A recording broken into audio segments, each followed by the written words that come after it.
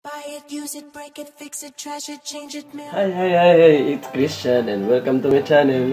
So ngayon, um, samahan niyo ako maglalaba tayo ngayong Sabado. At yung vlog na to ay isang linggo siya. Ano, magustuhan niyo yung mga uh, eksena lang sa aking pang-araw-araw.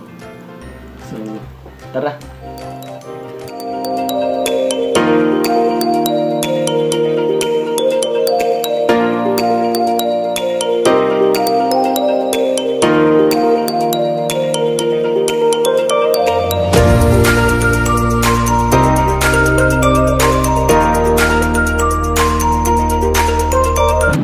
Nandito ako sa Freedom Park. Uh, katatapos lang namin mag-enroll.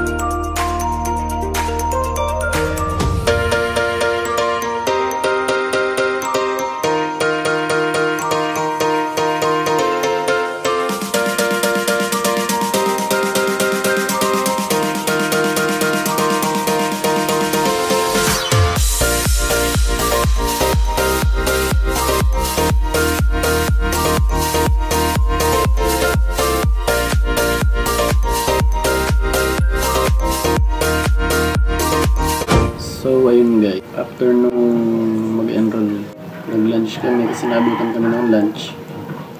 So, ayun. Tapos na. Ayun, dumaan pa ako sa kanina para mag-test ng mga cinematic uh, scenery or something. Tinry ko lang guys. Ha? A few moments later. Sama kayo.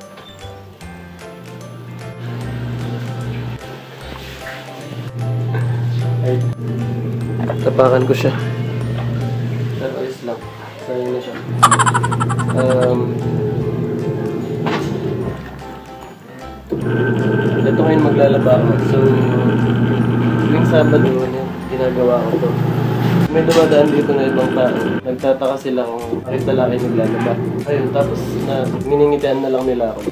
Kapag may mga naglalaba, naglalaba. Nakakahiya. Baka may tao. Dito ako nagsasalita. Tapos dito pa yung iba. Eto, isang payan. Eh, nagulat na lang ako dahil may biglang nagsimpa yung kapitbahay. Ang dami Tapos ito pa. Diba hindi nyo makita yung alambre. Kaya bastos ko Motor ni Tito Darwin. Kotse. Ay, baka makita niyo plate number. Medyo nahihiya ako mag, ano, sa labas. First time ko itong ginawa.